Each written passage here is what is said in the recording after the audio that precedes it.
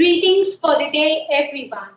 I am privileged to welcome you all into the third edition of Orange City Literature Festival, organized by SGR Knowledge Foundation in association with GH Raisoni University, powered by Raisoni Group of Institutes, a platform that celebrates wisdom, experiences, narratives, and notions from all walks of life. Having said that, it's thrilling to be here with you all today. I am Prachi Chandekar, delighted to be your anchor for today's session, The Forgotten History of India by Mr. Arun Anand in conversation with Dr. Vinay Nalva.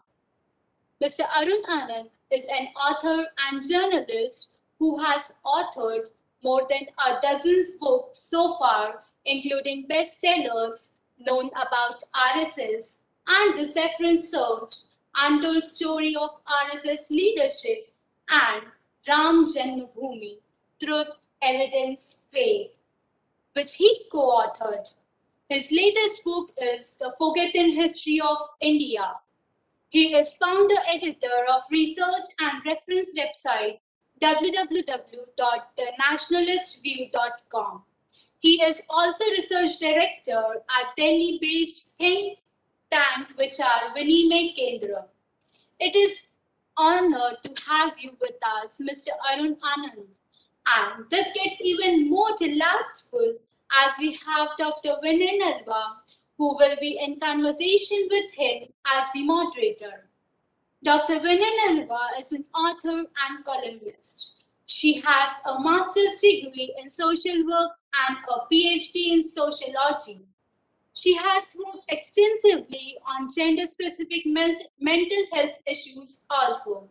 She has written extensively on various socio political issues on major media platforms.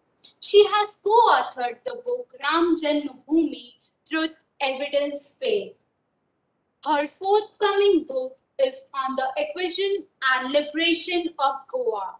She is a senior fellow with Delhi-based think tank Vichar Vinimay Kendra.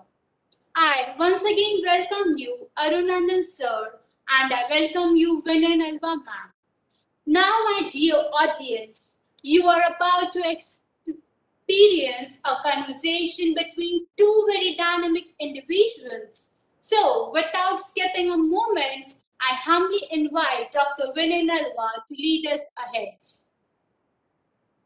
Uh, thank you so much, Prachi. Uh, I welcome viewers uh, to this August session uh, where we have with us uh, Mr. Arun Anand and uh, we are going to talk about his recently released book, The Forgotten History of India. And if time permits and there will be questions from the viewers, we'll try to take those also. So uh, without further ado, I welcome Mr. Arun Anand uh, with my first question. Uh, Arunji, uh, you have uh, covered varied topics in your books. I was, uh, I read about your, I read your book and I just, I think first question, first appropriate question will be, is there a common thread?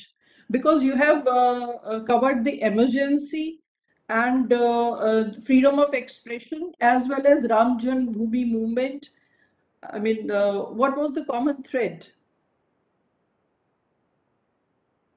first of all, you know, I want to thank the organizers for inviting me in this session and um, Orange City Literature Festival. This is my third uh, year in a row uh, where uh, I've been invited, and it's always intellectually very stimulating to be part of this uh, event.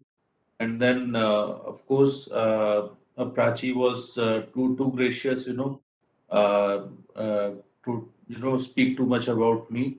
And now coming to your question, Dr. Nalva.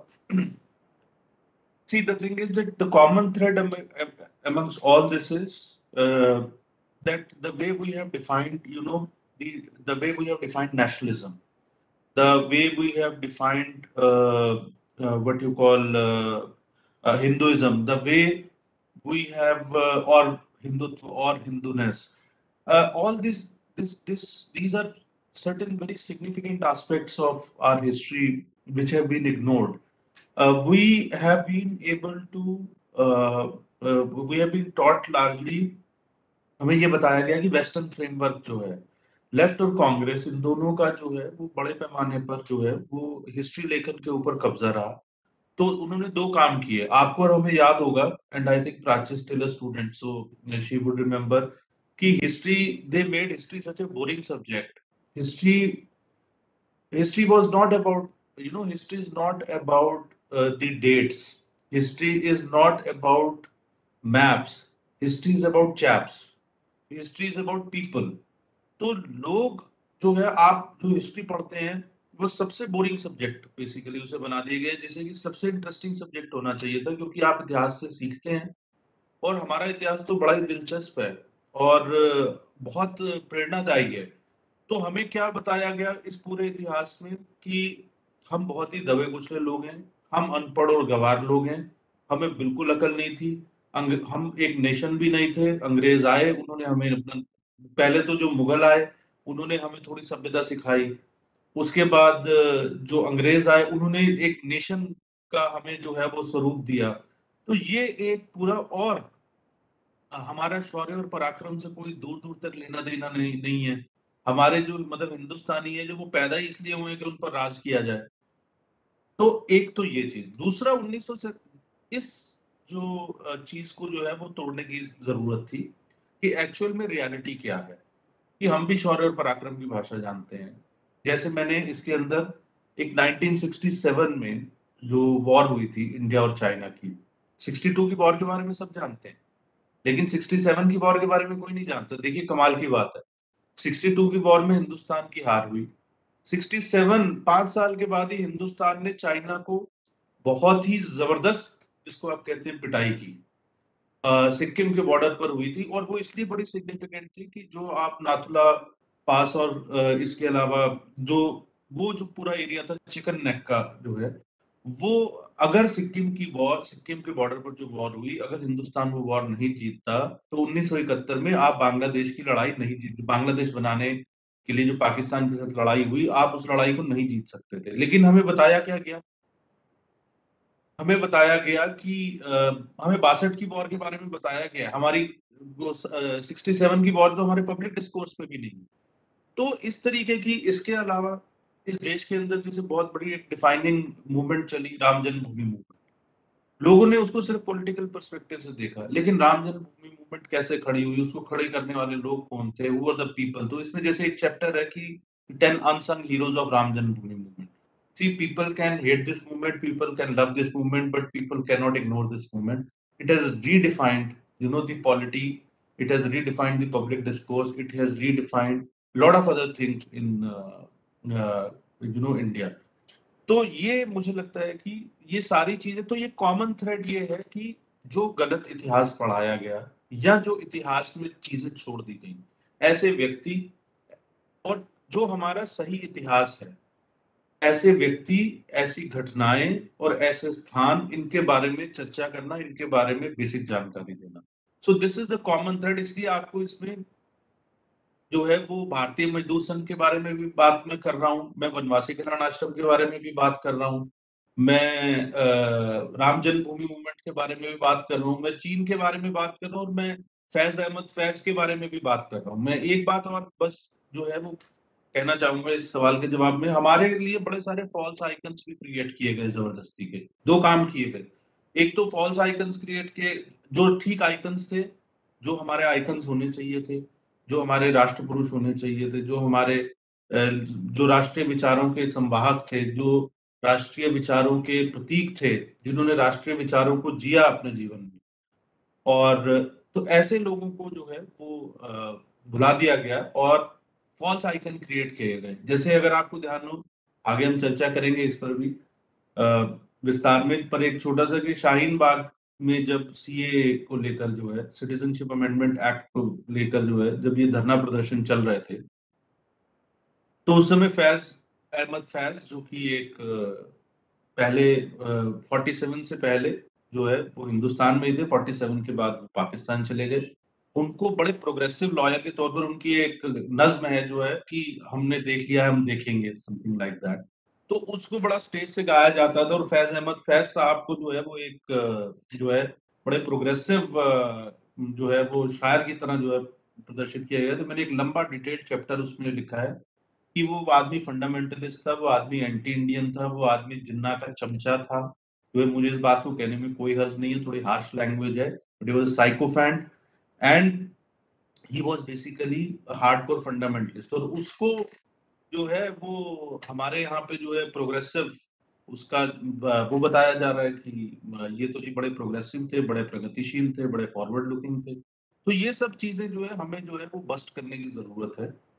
और मैं कई अखबारों में और कई जगह पे लिखता हूँ तो जब मैं अपने अलग अलग कॉलम्स के लिए मैंने रिसर्च करना शुरू किया तो उस समय मैं, मैंने ये ऐसी बहुत सारी घटनाओं और व्यक्तियों के जो है वो आई के में क्रॉस तो मुझे लगा कि ये इतिहास के पन्नों की तो बात छोड़िए, ये आर्काइव में भी इनका कोई नामो निशान नहीं है, और शायद आर्काइव में जहाँ हैं भी इनकी कहानियाँ, वो धूल जो है वो फांक रही हैं।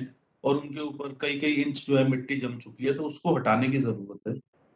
और इसीलिए मैंने एक ये छोटा सा जो है प्रयास किया और मैं कोई प्रोफेशनल हिस्टोरियन नहीं हूँ, पर मेरा एक ये भी मानना है, हो सकता है कि व्यूअर्स में कुछ प्रोफेशनल हिस्टोरियंस हो, उन्हें इस बात को लेकर थोड़ा ऑफेंडेड शायद फील हो। पर मेरा पिछले कुछ समय से ये अनुभव रहा है कि जो प्रोफेशनल हिस्टोरियंस हैं, उनके साथ एक समस्या ये है कि वो बैगेज है उनके ऊपर एक एकेडमिक फ्रेमवर्क का, जो वेस्टर्न फ्रेमवर्क हमारे ऊपर जो हम अमेच्योर हिस्टोरियंस हैं हमारे ऊपर ऐसा बैगेज नहीं है। तो उससे क्या है कि हम ज़्यादा फ्रीली जो है वो चीज़ों को ज़्यादा न्यूट्रलिटी के साथ ज़्यादा ऑब्जेक्टिविटी के साथ चीज़ों को देख पाते हैं। हम किसी एकेडमिक फ्रेमवर्क में उसको बांधने की कोशिश नहीं करते। पहले ये जो किताब भी है it is it has largely been written you know for वैसे तो सभी एज ग्रुप्स के लिए है और लेकिन uh, किताब का फॉर्मेट इस तरीके के कि छोटे चैप्टर्स हैं। चार से पाँच पेज का एक चैप्टर है लगभग तीस बत्तीस कहानियाँ हैं जो इतिहास के अलग अलग पक्षों को जो है दर्शाती हैं। तो ये आ, अच्छा इंटरेस्टिंग लगेगा एनिक्डोटल है घटनाओं और इससे एक ये भी मैंने एक चैलेंज लिया है क्योंकि मैं खुद हिस्ट्री पढ़ा हूँ स्कूल में बाकी लोगों की तरह।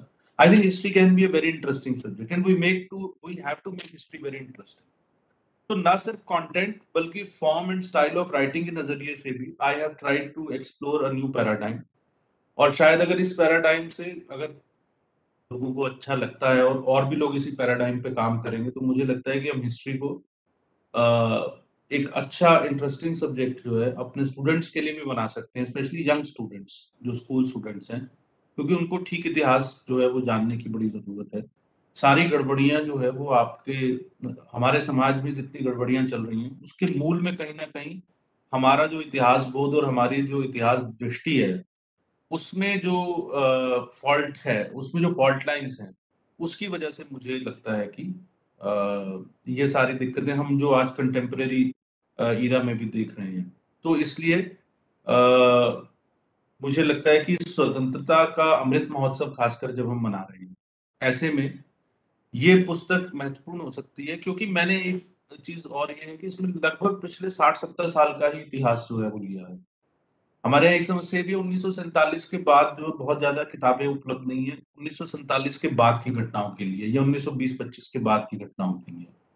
तो जब हम इतिहास की बात करते हैं तो हम 200 साल 100 साल 150 साल पीछे चले जाते हैं। तो मैंने प्रयास इसके अंदर ये किया है कि लगभग पिछले सत्तर अस्सी साल का, ये मैक्सिमम अगर आप कहें तो नौ दशक का समय इसमें से तो 1925 को लगभग आप एक कट ऑफ़ डेट के तौर पे मान के चल सकते हैं 1920-25 के आसपास से। तो ये एक प्रयास है कि जो कंटेम्प्रेरी चीज़ें हैं उनको भी क्योंकि ये भी हमारी हिस्ट्री है ये हमारी रिसेंट हिस्ट्री है। सो so, और इसके बारे में कोई चर्चा ही नहीं करता है। तो that is that is forgotten history ji. Okay हाँ आपने मेरे सेकंड क्वेश्चन का लगभग आंसर दे दिया है कि why have you why do you call your book forgotten history of India आप अगर इसमें कुछ और जोड़ना चाहते हैं तो प्लीज़ गो अहेड नहीं तो मैं थर्ड क्वेश्चन की तरफ़ आती हूँ। बताइए। देखिए ऐसा है कि आ, मैं इसमें सिर्फ़ एक चीज़ ये जोड़ना चाहता हूँ। मुझे लगता है कि इस देश के अंदर एक टेम्पलेट बन गया है कि जो लोग भी इतिहास को दोबारा देखने की बात करते हैं, या जो विस्मृत इतिहास है, उसको दोबारा जनता के सामने लाने की बात करते हैं, वो सारे के सारे रिवाइवलिस्ट हैं, वो सारे के सारे प्रतिक्रियावादी हैं, वो सारे के सारे फंडामेंटलिस्ट हैं, वो इस देश की, वो सो कॉल्ड जो गंगा जमनी तहजीब है, उसको जो है वो समाप्त कर देना चाहते हैं। ऐसा है नहीं। पहली बात तो ये गंगा जमनी तहजीब जो है, ये भी एक गलत इतिहास बोध और गलत इतिहास दृष्टि से निकला हुआ है। हमारे गंगा जमुना सरस्वती, यमुना सरस्वती का संगम है तो ये गंगा जमनी तहजीब नाम की कोई चीज़ नहीं हो सकती।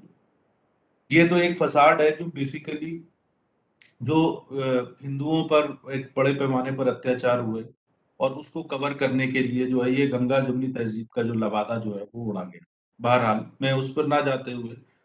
तो मैं आपको दो तीन बातें, ये मैंने फॉरगॉटन हिस्ट्री ऑफ़ इंडिया इसे इसलिए भी कहा क्योंकि हिस्ट्री जो है, दो जगह पर हम भूल गए इन घटनाओं के बारे में। पहला तो जैसे मैंने कहा कि हमारे जो एकेडमिक करिकुलम्स हैं उसके अंदर। दूसरा, कई बार ऐसा होता है कि जो एकेडमिक करिकुलम में तो चीज़ें नहीं है, लेकिन वो लोक स्मृति में रहती है। In public memory basically these things are there the unfortunate part is that in public memory also these things are going going away और उसके बड़े सीरियस रिप्रकशन होते हैं। जैसे मैं आपको एक एग्ज़ाम्पल देता हूँ। हाल में हमने देखा जो किसान आंदोलन चल रहा था, उसमें और पंजाब में खासकर जो है काफ़ी सेंसिटिव स्टेट भी है बॉर्डर स्टेट होने के कारण, एक नैरेटिव बनाने की कोशिश की जा रही थी कि हिंदू वर्सेस सिक्स का। और इसके साथ ही एक नैरेटिव ये भी बनाने की कोशिश की जा रही थी कि जो आरएसएस है, राष्ट्रीय स्वयंसेवक संघ है, वो तो हिंदुत्व की बात करने वाला है और वो सिखिज्म को जो है ना, एक तरीके से यूजर्व कर लेना चाहता है, पूरी तरह से अपने हिंदुत्व के अंदर जो है ना, उसको को कर लेना चाहता है, सिखिज्म की आइडेंटिटी को जो है वो खत्म कर देना चाहता है। ये एक सेक्शन का नैरेटिव तो अब आप कमाल की बात ये देखिए, इसके अंदर एक पीस है जिस जो मैंने लिखा है, एक चैप्टर है इस किताब में, कि हाउ आरएसएस स्वयंसेवक सेव दरबार साहिब ट्वाइस जो आरएसएस के वॉलंटियर्स थे, उन्होंने दरबार साहिब जो क्या कहते हैं, अमृतसर में, उसके ऊपर मुस्लिम लीग के गुंडों ने तय कर लिया था कि इसके ऊपर हमला करना है, इसको डेसिग्रेट करना है, इसके ऊपर कब्जा करना है। और अमृतसर के अंदर ये 47 में जब पार्टीशन हो रहा था, उस दौर की बात है। और अमृतसर, उस समय ऐसा अमृतसर नहीं था जो आप देखते हैं। पूरा प्रशासन मुस्लिम था, पूरा जो पुलिस वाले थे वो मुस्लिम थे। तो मेरा, उसके अंदर किस तरीके से संघ के स्वयंसेवकों ने अपनी जान पे खेल के दो बार दरबार साहिब को बचाया? अगर ये बात इतिहास के के सामने, इतिहास की ये बात अगर आज हमारे को स्मृति होती इस बात की, आज if had we remembered this thing would there have been anybody had been able to create such a fault line that RSS is basically trying to you know co-opt Sikhism? तो ये इस तरीके इसलिए ये जो फॉरगॉटन हिस्ट्री ऑफ़ इंडिया जो है तो इस, इसके ऐसे बहुत सारे जो एस्पेक्ट्स हैं वो हमें जैसे मैंने आपसे हमारे मतलब किसी समाज में in any society there has to have that pride you know that self confidence तो हमारे को तो बासठ के मैंने चार जैसे आपको चीन वाला उदाहरण दिया उसमें हमें बताया गया कि नहीं जी हम तो चीन के सामने बहुत कमज़ोर देश हैं जो है। तो ये जो सारी चीज़ें हैं मुझे लगता है कि इन सबको थोड़ा सा जो है वो that is why I have said that it is forgotten history किताबों में ना हो कोई फ़र्क नहीं पड़ता। लेकिन क्या हुआ कि आ, हम लोग जिस पीढ़ी के हैं उसमें हम कम से कम ओरल टेल्स जिसको बोलते हैं ना मौखिक जो है जो हमारे यहाँ एक श्रुति परंपरा भी है तो ओरल ट्रेडिशन एक हिस्ट्री का होता था रिसेंट हिस्ट्री का। जैसे हमारे पिताजी हैं जो है वो हमें बताया करते थे कि भाई पार्टीशन के दौरान क्या हुआ? किन लोगों ने हमें बचाया? किन लोगों ने कैसा बिहेव किया? तो इस तरीके की बहुत सारी चीज़ें जो है ओरल ट्रेडिशन में हमें सुनने को मिलती थी। पर अब इंटरनेट आने के बाद तो ओरल ट्रेडिशन भी खत्म हो गया है। ठीक है ना? अब तो लोग बोलते हैं कि अलेक्सा बताओ जो है ठीक है ना कि आज तुम, तुम्हारे पास कौन सी कहानी है मुझे सुनाने के लिए? तो एलेक्सा उसको जो है शायद वो है क्या कहते हैं कौन सी कहानी सुनाएगी? कम से कम ये कहानियाँ तो नहीं सुनाएगी जो हमारे, जो पेरेंट्स थे या जो हमारे ग्रैंड पेरेंट्स थे वो हमें सुनाया करते थे। तो इसलिए भी इस तो इसलिए पब्लिक मेमोरी से जो है वो सारी की सारी चीज़ें जो है समाप्त होती जा रही हैं। और शायद हम आगे, आने वाली कुछ जनरेशन, जैसे आपने तो हम डॉक्टर निर्भा किताब लिखी है राम जन्मभूमि वाली तो मैं आपके साथ को ऑथर ही था। तो उसका भी ट्रिगर पॉइंट क्या था जो है? वो भी एक एक फॉरगॉटन हिस्ट्री की तरह ही था कि जनरेशन आजकल की ये कह रही है कि अरे वहाँ पे आप सुलभ शौचालय बना दीजिए वहाँ अस्पताल बना दीजिए। Ram is a myth. That was also. Uh, that was also ठीक है ना? इनफैक्ट जो सलमान खुर्शीद साहब की किताब आई है सनराइज ओवर अयोध्या में उसे पढ़ रहा था। उसमें उन्होंने फिर यही थ्योरी प्रोपोगेट करने की कोशिश की है कि वो मिथ है Arun ji, तो मेरे कहने का मतलब ये है इसमें कि हमारी जो पब्लिक डिस्कोर्स है जो हमारे पब्लिक मेमोरी है उसके अंदर इन सारी चीज़ों को दोबारा लाना बड़ा ज़रूरी है जो देश अपने हम शौर्य और पराक्रम ये ये हमारे मूल गुण है बेसिकली जो है तो कहते हैं ना कि क्षमा शोभती उस भुजंग को जिसके पास गरल हो। तो भैया, हमने हम सबके सामने बड़े विनम्र रहते हैं भारतीय। हम सबके, सबको अपने साथ लेके चलते हैं, पर इसका मतलब ये नहीं है कि हमारे में शौर्य और पराक्रम नहीं है। तो मेरा ये प्रयास खासकर इस चीज़ को भी दिखाने के लिए था कि इसमें कई कहानियाँ ऐसी हैं जो रिसेंट टाइम्स में भारतीयों के शौर्य और पराक्रम की बात करती हैं। तो ये एक जो है कारण था। जी, आप कुछ कह रही थी, डॉक्टर हाँ हाँ जी, अरुण जी। जैसे आपने ओरल ट्रेडिशन की बात की तो अ, मैं ये जानना चाहूँगी कि आपका अ, आपकी जो इसमें सोर्स ऑफ़ इंफॉर्मेशन क्या थे? और क्या वो बाकी राइटर्स के लिए भी असेसिबल हैं? जी ये आपने अच्छा सवाल पूछा कि मैं अपना ट्रेड सीक्रेट जो है वो शेयर कर लूँ सबके साथ। तो खैर नहीं ये ट्रेड सीक्रेट की बात नहीं है। ये it's it's a very important question क्योंकि अ, सिर्फ़ एक देखिए, किताब जो है वो स्वांत सुखाए के लिए भी दो दो तरीके से जो है वो लेखन होता है।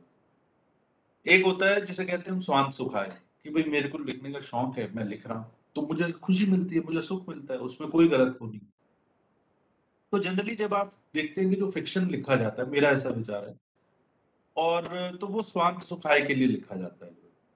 लेकिन जब आप नॉन फिक्शन लिखते हैं, जनरली तो उसमें आपका एक बहुत स्पेसिफिक जो है ना you want to promote an idea और you want to propagate a theory आप किसी एक विचार को आगे बढ़ाना चाहते हैं क्योंकि आप उस विचार के प्रति अपनी को बहुत ज़्यादा प्रतिबद्ध महसूस करते हैं। You feel lot of commitment towards that thought तो मुझे भी ये था कि अ, ये जो जैसे मैंने आपसे कहा कि अ, ये जो इतिहास के विस्मित अध्याय हैं ये सामने आने चाहिए।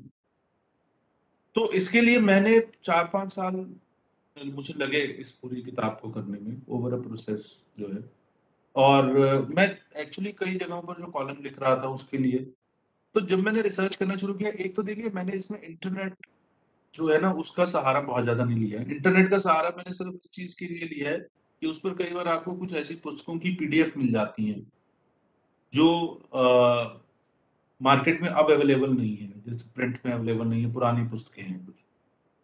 या आपको पुस्तकों के बारे में जानकारी मिल जाती है, या आप ऑर्डर कर सकते हैं। तो मैंने जो सोर्सेज एक्सेस किए हैं तो देखिए नेहरू मेमोरियल ऑनलाइन उसका बहुत सारा अवेलेबल है। नेशनल आर्काइव्स का बहुत सारा मटेरियल ऑनलाइन अवेलेबल है। इसके अलावा जो संघ से आर एस एस पे इसमें काफ़ी सारी स्टोरीज हैं तो आर एस एस से मैं अपने दर्शकों के लिए भी जो खासकर संघ से संबंधित विषयों पर ऑथेंटिक जानकारी जान चाहते हैं तो दो तीन प्रकाशन है उनकी जो पुस्तकें हैं। जैसे सुरुचि प्रकाशन है, उसकी जो है आपको बहुत ऑथेंटिक उसमें संघ से संबंधित जो है वो ऐतिहासिक जो है रिकॉर्ड मिल जाएँगे। इसी तरीके से लोक, लोकहित प्रकाशन है फिर पाँच जन्य और ऑर्गेनाइजर के आर्काइव्स हैं। ये तो खैर जो संघ वाला मामला जो है वो हुआ। संघ के आर्काइव्स का भी मुझे थोड़ा एक्सेस था तो मैंने उनको भी आरएसएस के आर्काइव्स को भी यूज़ किया। अपार्ट फ्रॉम दैट जो है, वो प्राइमरी रिसोर्सेज के तौर पर जो है, कुछ पुस्तकें, संदर्भ पुस्तकें उनका जो है इस्तेमाल किया। तो मैं अपने जो जो भी लोग इन विषयों पर लिखना चाहें, मैं सिर्फ़ उनसे एक ही बात ये कहना चाहता हूँ कि देखिए, बहुत सारी जानकारी ऑलरेडी अलग अलग एस्पेक्ट्स में डिटेल में लोग बहुत सारी रिसर्च कर भी चुके हैं। आप उस रिसर्च को एक्सेस कीजिए, उस रिसर्च में जो है, और लेकिन ये रिसर्च बिखरी हुई जो है बहुत सारी जगहों पर। तो आप थोड़ा सा जो है उस रिसर्च को एक्सेस कीजिए। अगर आप उसको if you can put together you know, these different pieces of this jigsaw puzzle, you can really create a big picture. तो वो वैसा आप कर सकते हैं। तो इसलिए और एक मैंने, जो बड़ा सिंपल तरीका मेरे लिखने का है और रिसोर्सेज का, कि मैं जैसे कोई किताब पढ़ रहा हूँ। तो मैं उस किताब में जो एंड नोट्स होते हैं रेफरेंसेस होते हैं, उसके अंदर कुछ प्राइम सोर्सेज उन्होंने दिए होते हैं। तो मैं उनको एक्सेस करता हूँ। जब मैं उन्हें एक्सेस करता हूँ तो उसके अंदर फिर कुछ और दिए होते हैं रिसोर्सेज तो मैं उन्हें एक्सेस करता हूँ। तो ये चेन है basically so finally you know you are able to read तो आप ओरिजिनल प्राइमरी सोर्स तक जो है वो पहुँच जाते हो। इसमें एक चीज़ का क्वेश्चन करना, और बहुत सारी चीज़ तो वेबसाइट पर कुछ चीज़ें जो ऑफिशियल वेबसाइट उन पे अवेलेबल है। जैसे फैज अहमद, फैज पे जो मैंने पीस लिखा है, उसमें लार्जली जो रिसोर्स एक्सेस किया है, फैज अहमद फैज पर एक ऑफिशियल वेबसाइट पाकिस्तान ने बनाई हुई है। उसको मैंने जो है एक्सेस किया है। इसी तरीके से जैसे आरएसएस के बारे में अगर आपने जानकारी, उसके रेजोल्यूशन जो हैं या आरएसएस की एक्टिविटीज़ के बारे में बहुत सारी जानकारी अगर आपको चाहिए तो वो आरएसएस की ऑफिशियल वेबसाइट पे अवेलेबल है। दत्तोपन ठेंगड़ी पर मैंने एक पीस इसमें लिखा है, जो भारतीय मजदूर संघ के संस्थापक थे। उनकी भी एक ऑफिशियल वेबसाइट है दत्तोपन ठेंगड़ी की। यहाँ पे वीर सावरकर जो है उनपे मैंने एक पीस इसमें लिखा है। बड़ा इंटरेस्टिंग पीस है कि लेफ़्ट के जितने लोग हैं, वो सावरकर जो है, वीर सावरकर उनको एक्यूज करते रहते हैं किसी न किसी चीज़ के लिए। और जब हेग में अंतरराष्ट्रीय न्यायालय में एक मुकदमा चला था, सावरकर को जब अवैध तरीके से ब्रिटेन ने नास के बंदरगाह से गिरफ़्तार कर लिया था तो उसमें उनको डिफेंड कर रहे थे कार्ल मार्क्स के जो है original grandson real grandson real grandson उनको डिफेंड कर रहे थे और वो खुद भी फ्रांस के बड़े सोशलिस्ट लीडर थे। और उन्होंने सावरकर और हिंदुत्व की बहुत तारीफ़ की। वो पिटिशन जो है वो सावरकर डॉट ओ पर अवेलेबल है। तो बहुत सारी चीज़ें ऐसी हैं कि, और वो फ्रेंच में था, उस फ्रेंच का अंग्रेज़ी अनुवाद भी उस पर अवेलेबल है। तो बहुत सारी चीज़ें ऐसी हैं जो कॉन्स्टिट्यूट असेंबली की डिबेट्स हैं, वो आपको ऑनलाइन अवेलेबल है। तो ऑनलाइन कुछ ऑथेंटिक सोर्सेज आपके पास वो हैं, पर कृपया करके विकीपीडिया को ना रेफर करें। ये मेरा आग्रह है जो लेखक हैं। और आप जिस भी सोर्स को रेफर कर रहे हैं, मैंने उसका रेफरेंस उसके अंदर देने की कोशिश की है। तो उसका रेफरेंस भी वो देने। और, जो है तो ये एक थोड़ा सा एक और मैं जो क्वेश्चन करना चाहता हूँ, जो अपनी सहयोगी उनसे। देखिए, क्या है कि ओरिजिनल हमें प्राइमरी सोर्सेस एक कारण ये भी होता है कि अगर हमें उनकी खोज करनी प्राइमरी सोर्सेस की जैसे मान लीजिए कि आ, मैंने एक अशोक सिंगल पर पीस लिखा है तो जो पीस मैंने अशोक सिंगल पर लिखा है उस पीस में आ, अगर अशोक सिंगल ने कुछ कहा और उन्होंने हिंदी में एक कमेंट किया था उस हिंदी कमेंट का फिर इंग्लिश ट्रांसलेशन हुआ। अगर मैं उस इंग्लिश ट्रांसलेशन से फिर या मान लीजिए उन्होंने एक इंग्लिश इंग्लिश में कमेंट दिया था। तो वो इंग्लिश कमेंट का हिंदी में ट्रांसलेशन हुआ। जो है, उस हिंदी का ट्रांसलेशन मेरे सामने है और मैं उसको फिर से इंग्लिश में कन्वर्ट कर रहा हूँ। तो क्या होगा कि उन्होंने ओरिजिनल कुछ और दिया था, मैंने कुछ और कर दिया। मैं उन वर्ड्स को एग्जैक्टली एड वर्बेटिम इस्तेमाल नहीं कर रहा हूँ। इसको बोलते हैं कि गेटिंग लॉस्ट इन ट्रांसलेशन ये बड़ा इंपॉर्टेंट है कि आप जिस सोर्स को एक्सेस कर रहे हैं, वो प्राइमरली बेसिकली मुख्य रूप से किस भाषा में लिखा गया तो अगर वो उसी भाषा में लिखा गया था, जिस भाषा में आप ट्रांसलेट कर, जिस भाषा में आप लिख रहे हैं तो आप ओरिजिनल जो उन्होंने कहा था उस भाषा में उसको देखें। उसके ट्रांसलेशन को ना देखें। तो ये एक बहुत ज़रूरी चीज़ रहती है करने में। अदरवाइज़ जो है वो कई बार जो है वो अर्थ का अनर्थ हो जाता है इसी सिलसिले जी डॉक्टर हाँ अरुण जी, एक ये भी बात बार बार उठ के आती है कि ये हम rewriting of history So, uh, is your book is also an effort towards that? देखिए ऐसा है। रीराइटिंग ऑफ़ हिस्ट्री तो तब होगी पहले एक बार लिखी तो जाए। ठीक है ना? तो मैं ये कहूँगा कि ये रीराइटिंग ऑफ़ हिस्ट्री नहीं है। This is as I said forgotten history जो है फॉरगॉटन का मतलब कि ये हिस्ट्री लिखी ही नहीं गई। मतलब इस विषय में स्ट्रक्चर्ड तरीके से सारे फैक्ट्स को जो है वो सामने नहीं रखा गया। और रीराइटिंग ऑफ़ हिस्ट्री का मुझे एक चीज़ लेकिन मैं फिर भी और मैं ये भी मानता हूँ कि रीराइटिंग ऑफ़ हिस्ट्री होनी चाहिए। क्योंकि जो हिस्ट्री हम पढ़ रहे हैं, वो हिस्ट्री वेस्टर्न थॉट प्रोसेस की है, वो हिस्ट्री कॉलोनियल फ्रेमवर्क वालों की है। और वो भारतीय इतिहास दृष्टि से नहीं लिखी गई है। देखिए, आज भी आप ये देखिए, हम लोग एडी और बीसी है ना? जो है। मतलब कि हम क्राइस्ट जो है मतलब हम भारत का इतिहास पढ़ रहे हैं।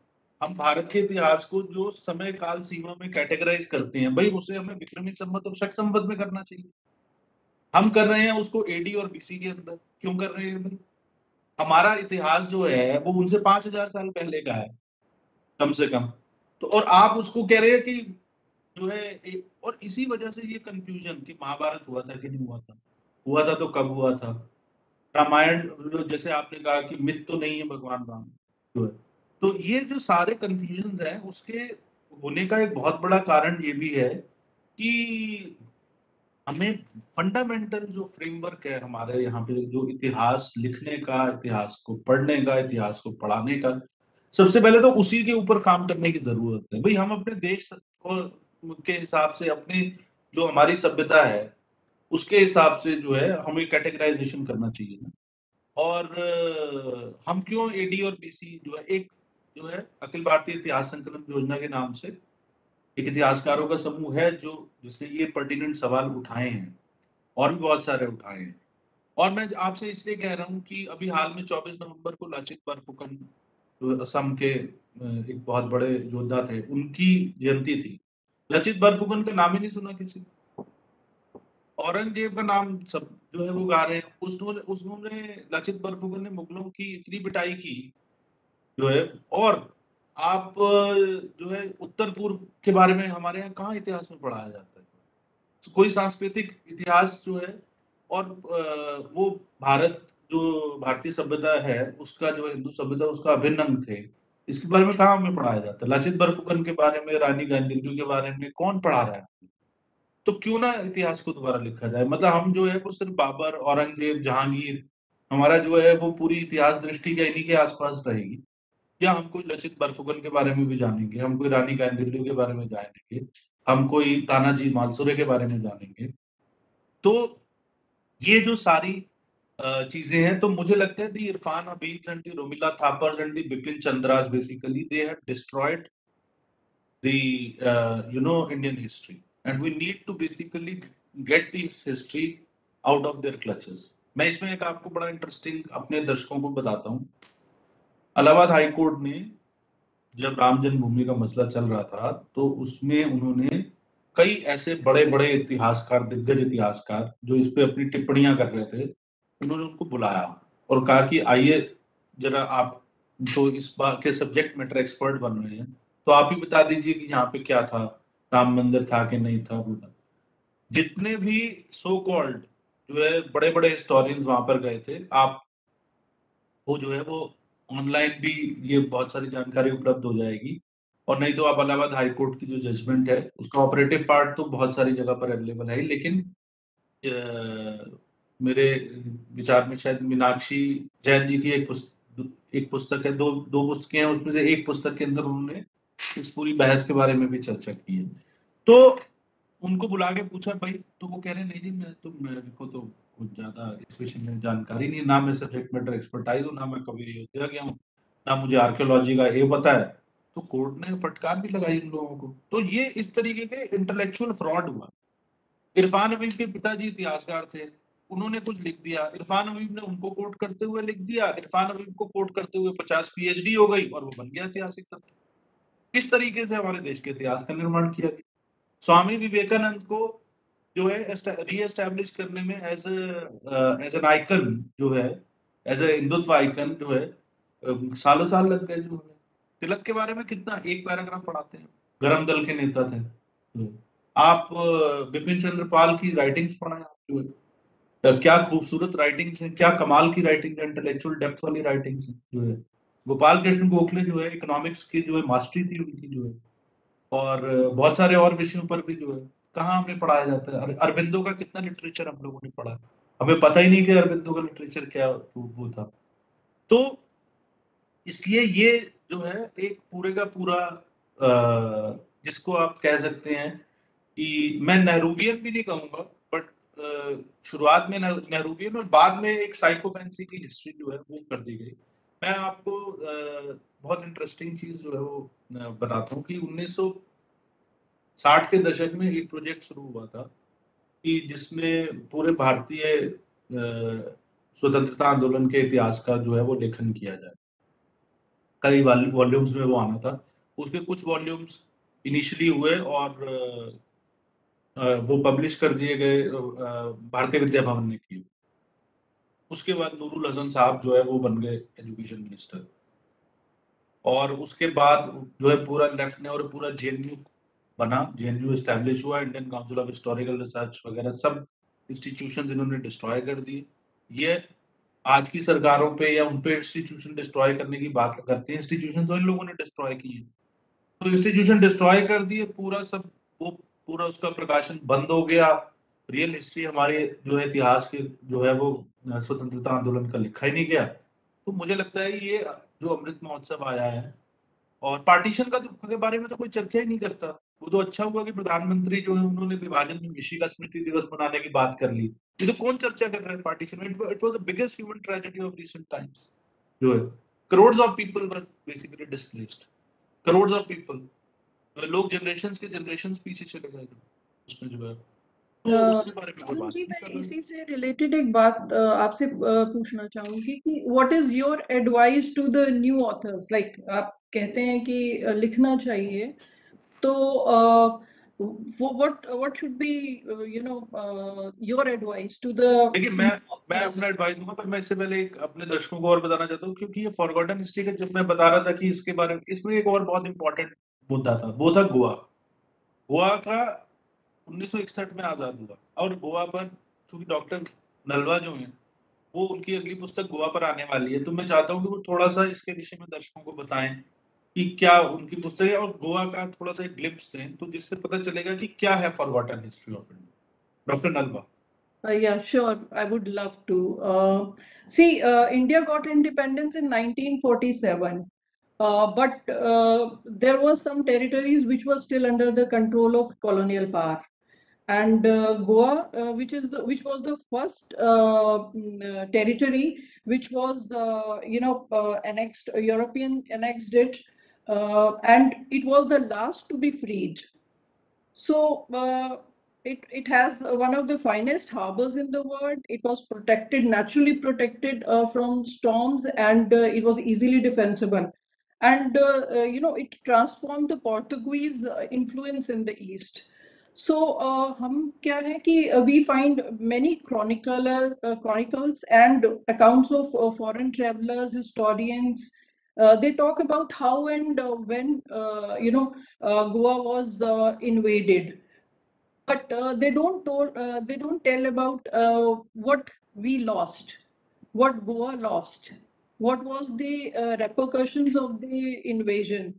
What uh, what was the loss in terms of you know the culture and the civilization so uh, you know there was a political subjection to thi hi thi साथ साथ में उस फोर सेंचुरीज के more than four centuries के rule ने गोवा को उसमें Goa religious persecution से गुजरा रेशियल डिस्क्रिमिनेशन से गुजरा और साथ साथ जो फोर्सिबल कन्वर्जन हो रहे थे बिकॉज़ जो पोर्टुगीज रूल था, वो उस टाइम वो एक्सपेंशन ऑफ़ क्रिश्चियनिटी की पॉलिसी पे चल रहा था।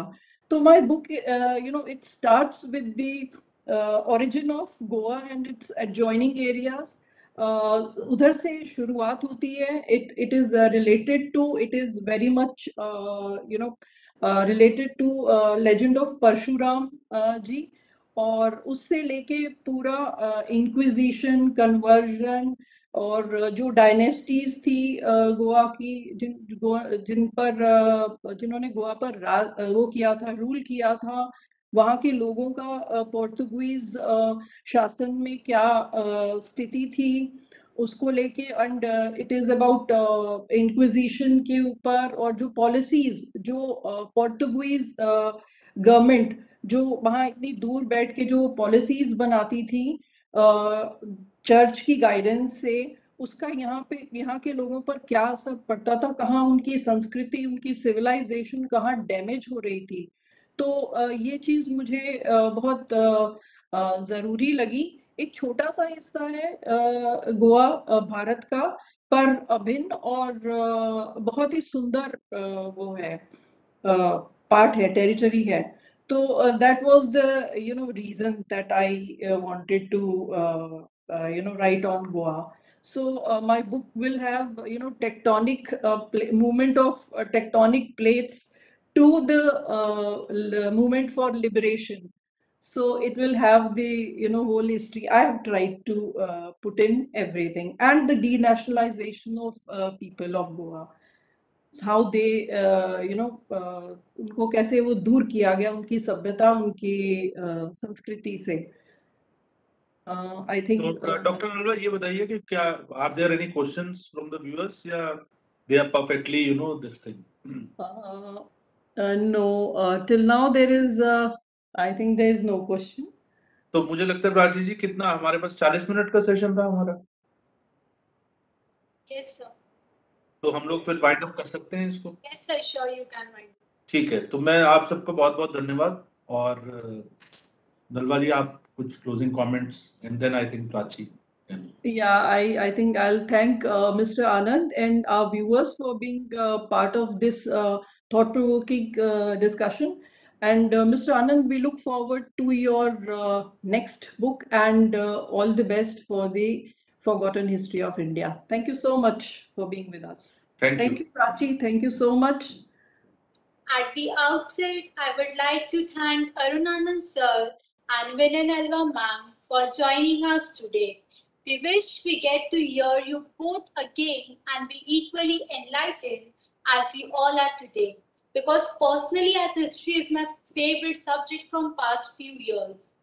And for my dear massive audience, I'm sure that after witnessing this conversation, you all are taking home an enriched version of yourself, just as I will. Thank you for joining us today. Until I see you again, this is Prachi Chandekar signing off. Thank you.